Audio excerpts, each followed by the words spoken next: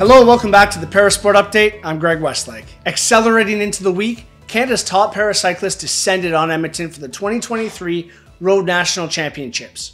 Riding the momentum from winning bronze at the World Cup, stoker Lowell Taylor and pilot Ed Veal claimed gold in both the time trial and road race for men's tandem.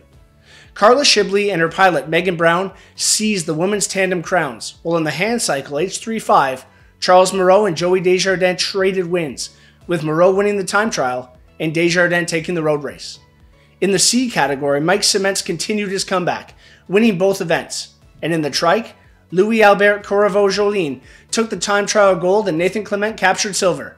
The duo switched places in the trike road race, with Clement taking first and Corriveau Jolin in second.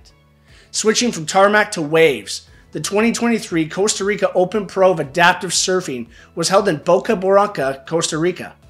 The four day event had strong performances from Canadians, with Tyler Turner advancing to the second round in the any knee kneeling class and Victoria Feige winning the women's AKK category. Jetting up the continent, we go to Birmingham, Alabama, where 13 of Canada's best wheelchair rugby players took part in a joint training camp against the USA. The five day series plays a key hand as both nations look to lock in the lone qualification spot at the 2023 Para Pan Am Games in Santiago, Chile in November. And that's our time for this edition of the Parasport Update, presented by AMI Audio. Check back next week for more news from the world of adaptive sports.